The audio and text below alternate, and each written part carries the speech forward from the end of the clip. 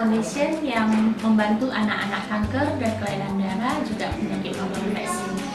Uh, visi kita yaitu uh, mengusahakan untuk meningkatkan kualitas hidup mereka. Jadi membantu membantu dalam bidang kesehatan, pengobatan di mana yang tidak ditanggung oleh pemerintah, misalnya tidak ditanggung oleh BPJS. Kita juga ada rumah singgah, rumah singgah diperuntukkan untuk anak-anak yang dari luar kota yang mereka dirujuk ke Medan untuk berobat sehingga mereka bisa tinggal di rumah singgah Smiley Kids atau namanya rumah anak sehat untuk sementara selama mereka menjalani pengobatan. Harapan ke depan saya uh, lebih banyak yang peduli uh, agar mereka juga tahu kalau kanker pada anak ini bisa disembuhkan. Jadi mereka lebih aware mereka lebih tahu apa gejala-gejala awal uh, penyakit kanker anak secara awal, gejala dini. Jadi itu yang sebenarnya perlu kita sosialisasikan, mereka tahu sehingga mereka tidak datang pada kita pada stadium yang sudah sangat lanjut.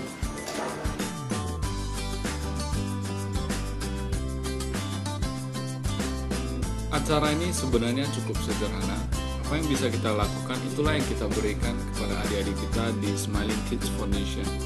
Dengan konsep Art Charity Project, kita tentu ingin adik-adik kita tidak hanya sembuh secara fisik, namun mereka juga sembuh secara mental.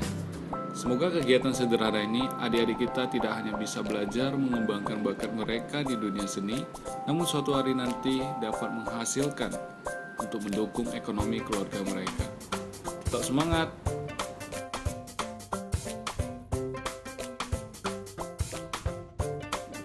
Setelah bergelut di dunia pendidikan selama 4 tahun, saya mulai memahami bahwasannya anak-anak itu sangatlah identik dengan kata pendidikan.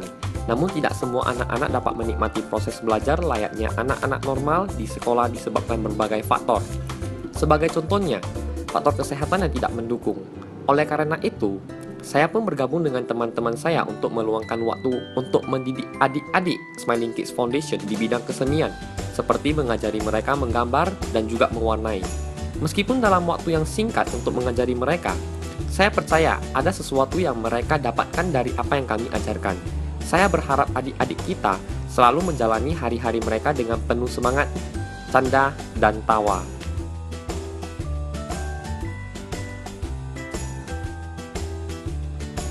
Melalui video dokumentasi ini, saya ingin berbagi momen kebahagiaan yang terekam agar semakin banyak orang yang dapat menyadari betapa masih banyak adik-adik yang memerlukan bantuan kita.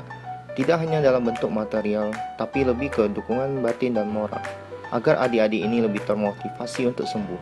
Semoga video ini dapat menjadi inspirasi untuk saling berbagi dan membantu sesama tanpa membedakan suku, agama, ras, dan budaya, terutama adik-adik yang masa depannya masih panjang.